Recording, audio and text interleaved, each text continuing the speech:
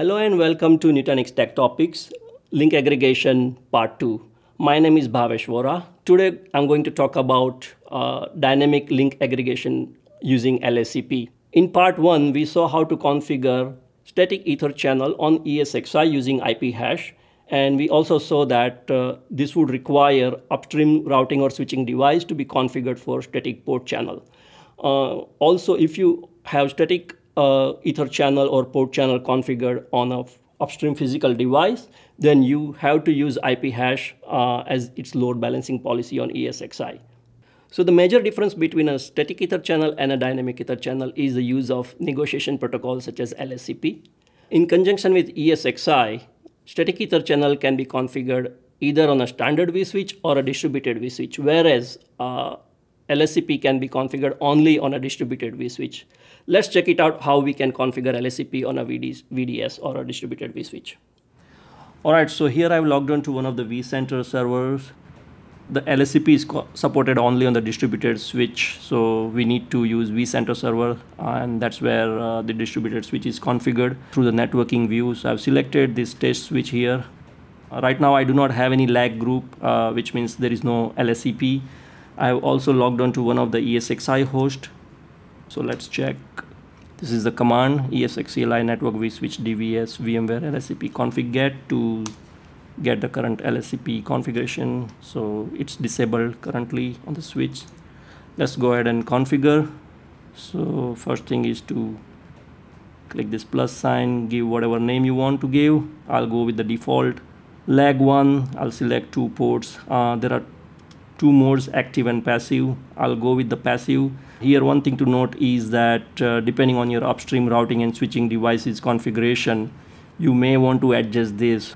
The supported configurations are active active active passive passive active but not passive passive for the obvious reason that if you select passive passive on both the ends then no side will uh, initiate any negotiations of LACP and the channel will not be formed currently I'm going with passive assuming the upstream is on the active side.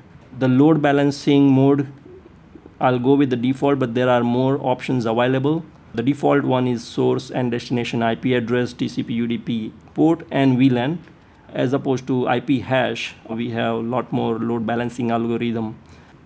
So this is where you set the load balancing algorithm at the lag group level and click OK to save it all right let's just refresh it make sure it gets saved. Now we have the lag group created and it is now available for consumption and LACP is enabled. Now to consume it we need to set it at the distributed port group level. So I have this distributed port group created. Let's go ahead and go to manage section on the property click edit all right and select the teaming and failover. Uh, now it's already there as unused. We need to move it to active. As we move to active here uh, we see the red icon here which says that basically you cannot have mix and match of lag and regular DV uplink. So we need to move those things as unused. You cannot also place it in under standby so it has to be under unused.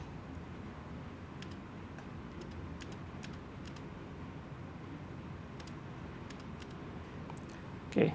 Now one more thing to note here is that the load balancing policy over here will be completely ignored.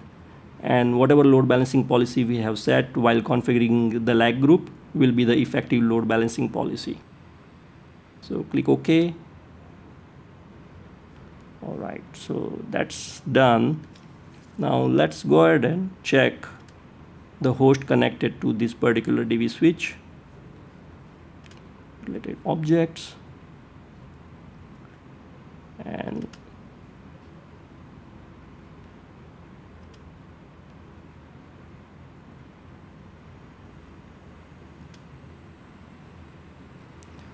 so although the lag group is assigned to this particular port group the lag group itself doesn't have any member network cards or a physical adapter. So we need to actually select that particular distributed switch and select this particular icon, manage the physical network adapters and add the network cards. So, so there are two lag members we have selected. So we see lag 1-0 and lag 1-1. Select the first one. Use one of the unused network adapters, VMNIC1. Select the lag 1-1. Repeat the same thing. Select the remaining one. Click OK. Click OK. Let's refresh this page all right so now let's check out at the command line. Config get we see that the lag group is created here. The DVS name is test. Lag group lag 1 lag group has a lag ID it has the member network card. Its mode and load balancing policy and it's enabled. There are few other commands that we can use to see its status Typically, this is used during troubleshooting. Let's say if you do not see any kind of uh, a LACP packets, then you can actually use these commands to see what are the status of the LACP, whether you see any LACP packet coming in and out. You can also check some states.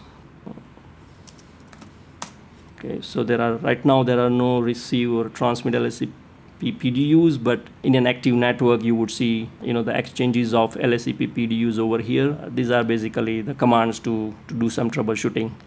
So that's basically it about uh, LACP. If you like to get some more information on this topic, please uh, check out the links mentioned in the video description below. Thanks for watching. I hope this was useful to you and stay tuned for more tech topics videos.